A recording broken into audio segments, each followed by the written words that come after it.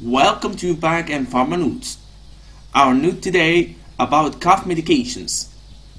Don't take antitussive medications as dextromethorphan when you have productive cough, because this leads to accumulation of sputum in the lung and worsen the case. But you should take expectorant as guaifenesin or mucolytic as ambroxol to get rid of the sputum. Thank you. Bye.